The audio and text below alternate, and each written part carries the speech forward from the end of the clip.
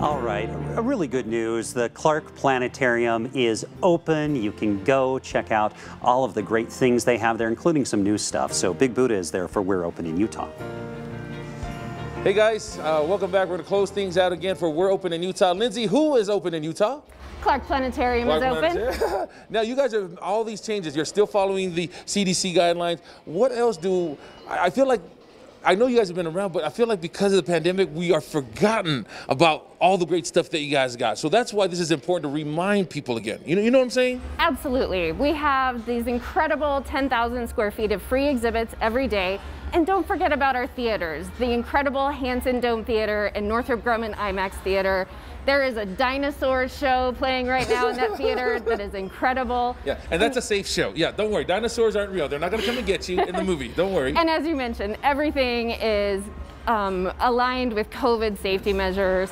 Our number one priority is keeping our community and our staff safe Yeah. while giving you exciting science Well, experiences. this is one of those things that yes, uh, people could probably say yes, I know they're open and I know they're safe, but it's these kind of we like to just remind the public that as uh, you know, you guys are in the public and you're open to us, that you're doing everything to make sure that we have the confidence. You know what I'm saying? Absolutely. Like I said, top priority. We want to make sure that our community is able to experience these fun, exciting science opportunities while feeling incredibly safe Yeah.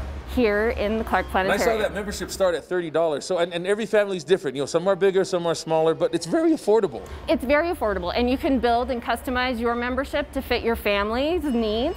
And then you can come visit us for free all year long. That's right. A physical address and then your web address so we can get all the information. 110 South, 400 West in downtown Salt Lake City, clarkplanetarium.org. Fox13now.com is our website. We'll put a link there to our good friends here at Clark Planetarium. One last question, Linz. Who is open in Utah? Clark Planetarium! nice job, Linz. All right, we'll see ya. Bye. All right, it's nice to have some of those family options opening opening up. So that's that's really cool. If you own a business and uh, you would like to be a part of our great website that connects people with their locally owned businesses, just go to fox13now.com, click on the We're Open tab, and there's a place where you can share your story with us.